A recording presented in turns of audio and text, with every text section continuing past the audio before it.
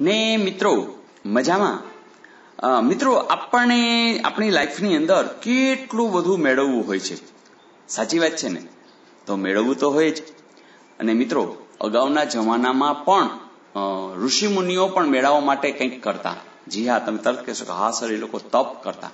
અને તપ કેટલું કપરું હોય છે એ તમને ખબર છે. તો આ જમાનામાં પણ મળે જ. તમે જે ઈચ્છો તે મળે. પણ હા, મિત્રો, તપની તૈયારી તમારે કરવી પડે.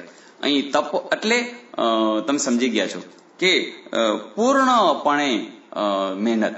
એને પૂરા દિલથી અને પૂર્ણપણે. તમારી ચોવીસ કલાક છે, એમાં મેક્સિમમ સમય તમારા આ તપની અંદર ગાળવો પડે. તો મન લાગે છે, તમારો એ જે પરિશ્રમ છે તમારો એ શ્રદ્ધા છે, એ ક્યારેય પેલી થાય નહીં. તો મિત્રો, આજના વલોણામાં કે જોઈએ મને શ્રેષ્ઠ જ. જી હા મિત્રો, આપણે શું કામ જેવું તેવું નથી જોતું? હે આપણે જોઈએ છે, બધું શ્રેષ્ઠ જોઈએ છે. વાત આટલી છે, જોઈએ છે, મેળવવું છે.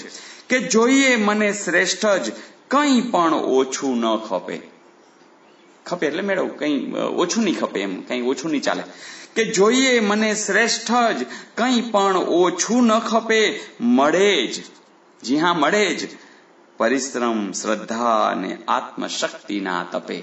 જી હા, મિત્રો, તપ કોનું હશે? તમારી પરિશ્રમનું હશે, તમારી શ્રદ્ધાનું હશે, તમારા આત્મશક્તિના જોરનું હશે. તો મિત્રો, આ જે બળ છે, આ બળ છે, એ આ તપ છે, એ તમારે જે કંઈ જોઈએ છે તમારે શ્રેષ્ઠ જ જોઈએ છે, એ શ્રેષ્ઠ તમને સહજતાથી જરૂરથી મળશે. હા, તપસ્યા ચાલુ રાખવું પડશે, તપ ચાલુ રાખવું પડશે, તમારો પરિશ્રમ છે એને જોડવો પડશે, શ્રદ્ધાને જાળવી રાખવી પડશે અને જી હા, મિત્રો, તમારી શ્રદ્ધા એ બહુ મહત્વની વસ્તુ છે, તો આત્મશક્તિ તમારી એમાં જરૂરથી કામે લાગશે.